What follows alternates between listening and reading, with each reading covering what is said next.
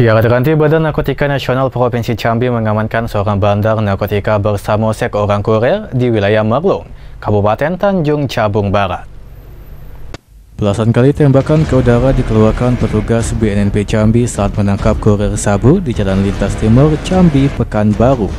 Tepatnya desa Sungai Penoban RT 06 RW 11 Kecamatan Batang Asam Kabupaten Tanjung Cabung Barat pada Minggu 28 November dini hari. Petugas sempat kewalahan karena kurir sabu atas nama Benny Haryanto itu mencoba melarikan diri dengan keluar dari mobilnya menuju semak-semak di jalan lintas tersebut. Dari tangan Benny, petugas berhasil mengamankan 2 kg paket sabu beserta 1000 butir pil ekstasi yang disimpan di dalam celana.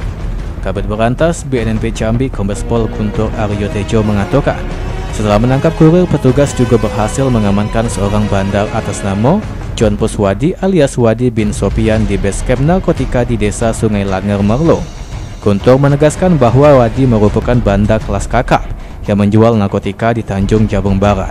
Wadi dewek sudah diincar sejak lama oleh petugas di mana sebelumnya pada bulan April lalu.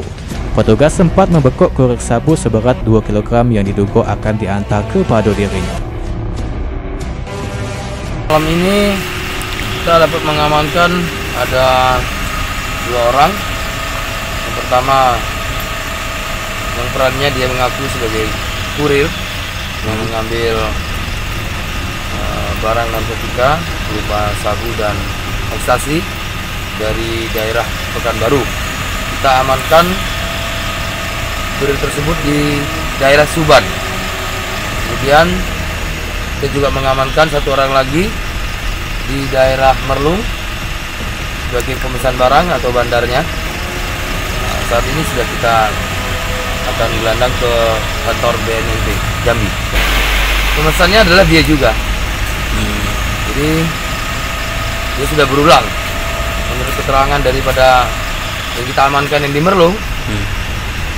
itu bahwa dia memesan dari uh, bosnya yang ada di Medan Terhadap kedua pelaku, petugas mengamankan barang bukti berupa narkotikanya jenis sabu-sabu, pil laktasi, dan sekunit mobil Pajero Sport kini untuk dilakukan pemeriksaan lebih lanjut.